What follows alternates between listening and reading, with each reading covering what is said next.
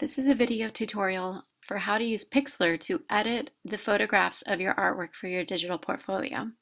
So you took those high quality pictures, you've uploaded them to your Google Drive, now you're ready to open Pixlr. Go to a new tab and type in Pixlr, P-I-X-L-R, and that'll bring you to hopefully the very first search result. You will find this one that says Online Photo Editor Pixlr Editor. That's the one you want to choose.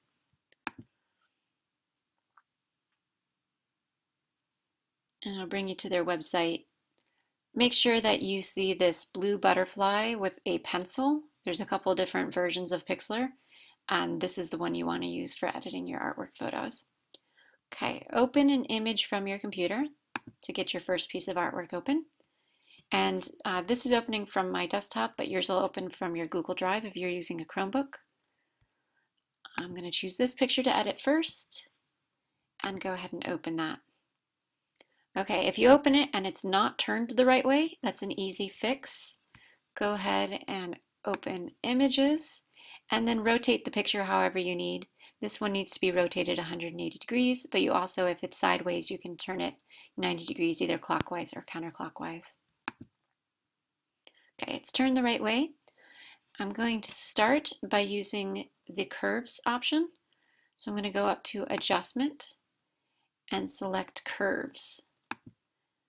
Now curves has several features to it. I'm not going to worry about this part right in here. I'm only going to use these three eyedroppers. You can use these for a quick contrast or color fix. Um, the top eyedropper is for selecting anything in your artwork that is supposed to be a true bright white. If you click on that, it'll adjust it and turn it to that true bright white, and then it'll adjust all the other colors in the artwork accordingly. The same thing works if you have a true gray in your artwork, you would use this one. And if you have something that's supposed to be a true black in your artwork, then you would select this one. So the pupils in this portrait are supposed to be a true black.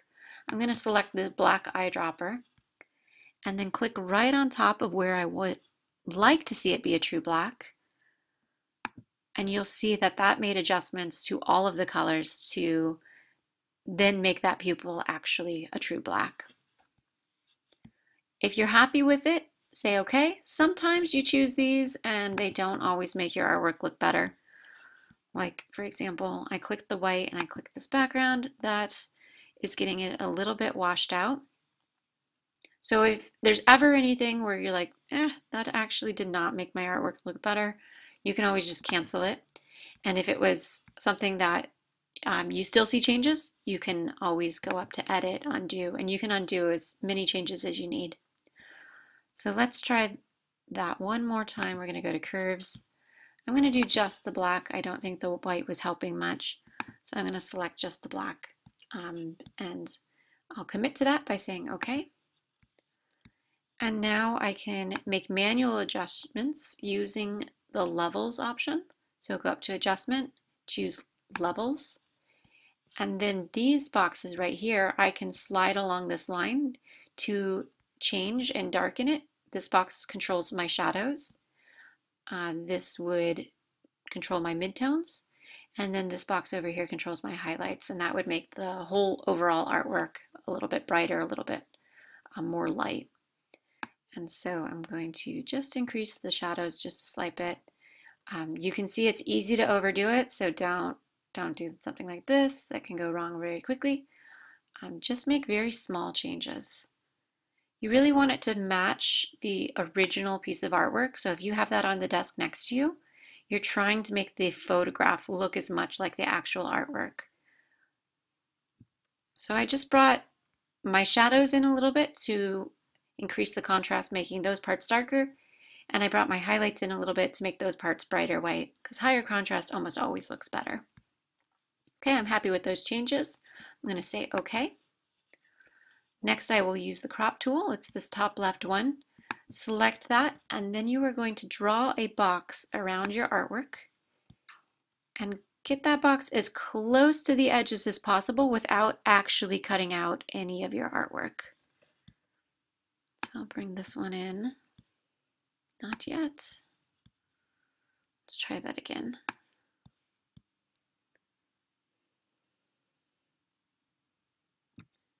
Okay, I'm going to adjust this one just so slightly because I'm cutting off that edge there. And then I'll bring this in just a little. And this one up. Okay, so I got as close as I could without actually cutting out any of the artwork. If I'm happy with the way it looks, I'm going to go ahead and hit the Enter key on my keyboard. That commits to the crop.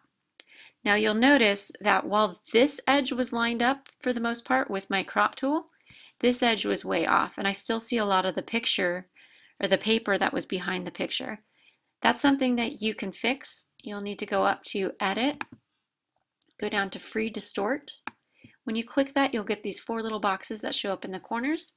And what you can do is you can click on a box and you can pull it up and out and you're just slightly stretching your artwork so that it fills the entire rectangle without having that extra background in there.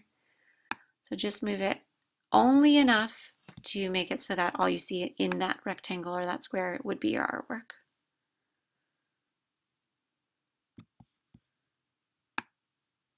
Okay, I think that looks good. I don't see any, of that extra background behind there anymore.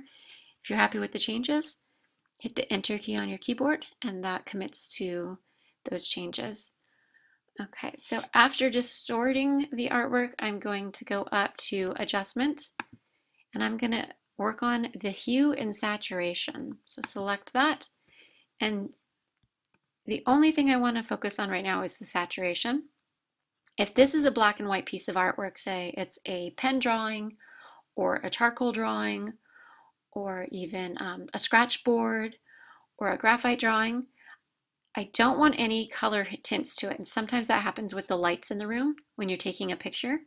So any black and white drawing, I would take saturation all the way to the left where it's at negative 100. And that would ensure that your photo that you have is a true black and white photo and you're not getting little color cast from anything in the environment where you took the picture. Now this artwork, however, is a colored piece of artwork. So instead of going to the left, I want to slide this to the right and I'm going to increase the saturation. And so it's just a little bit more vibrant. My colors pop a little bit more. Um, and I don't, it doesn't get washed out. Sometimes that happens with uh, when you take a photograph, you don't see the colors as well.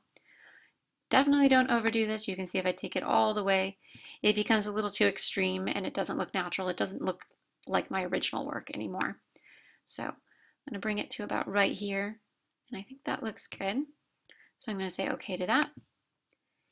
And then after that, I'm going to look closely at my artwork and I'm going to see were there drips, fingerprints, tears, smudges, anything that was a little flaw that you would like to fix. I'm going to go ahead and add one to this one just because I want to show you how to be able to fix it. So I'm just going to say, oops, oh no, I dropped my pen on my artwork and I need to fix that. So zoom in on the spot that you would like to fix. and you're going to use the clone stamp to fix it. And so that's this tool right here. Click the clone stamp and it's a two-part tool. What you're going to do is you're going to select and copy from one spot in your artwork and you're going to paste that to the spot where you want to make the fix or the correction. So you need to find something that's a, a close match.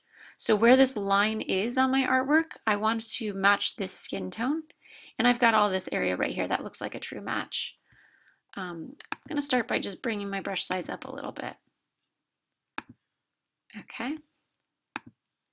And then I have to hold down control click to select. So this is the area I want to take from. On my keyboard, I hold down control and I click with the mouse. And then when I let go, I will move over and now I'm ready to do the second part. When I click over this, you can see I am copying where the large circle is, and I'm taking from where the small circle is with the little bullseye in it. So I'm just using that area and I'm replacing this mistake here with that area. And I can do it as many times as I need. So um, if this doesn't look like as a match, as much of a match to this anymore, I can say, okay, over here it looks like a closer match. I'm going to hold down my control key, click and select that area now, and then I'm going to go ahead and add that um, oh, looks like maybe over here is actually the better match. So just play around with this as much as you need. Remember, if it if you make a mistake, you can always undo it. You can hit Control Z on your keyboard. That's a fast shortcut. The other option is to go up to Edit and you can click Undo. Now this mistake a lot of people make with their clone stamp is they click and drag for too long. So let's say I'm taking um, a sample from right here from where I want to copy from and then I'm copying it here. And if I'm just clicking and dragging and I'm not letting go, watch where my source is, where I'm taking from. It's running over the eye and it's actually creating another eye right under the forehead. I don't want that. So just be careful about clicking and dragging for too long. If you let go and you start to click and just like do small areas, it creates a much smoother effect. So I'm just going to undo that. So Control Z, got rid of that. I'm going to zoom back out and see how this looks. Okay, this picture is ready for saving. All the editing's done. I'm going to go up to File, Save. I'm going to change the name. My recommendation is to do your name and then give the artwork a title. Okay, when you're happy with it, click OK. Make sure it's saving as a JPEG. Um, in your Google Drive, if you create a folder, a folder for your final digital portfolio, that's going to help you stay organized. And every time you edit a picture, you just save it to that folder, and then you'll be able to turn it in through Google Classroom very easily. So just save it there, and you are all set to start editing your next picture. So you'll go up to File, Open Image, and then choose whichever picture you would like to edit next. And um, when you open that, you'll be able to see you've got a new picture ready to go. Um, feel free to pause, replay, rewatch, do whatever you need to to learn these steps from this video tutorial, and always feel free to ask me questions if anything's still unclear. Thank you.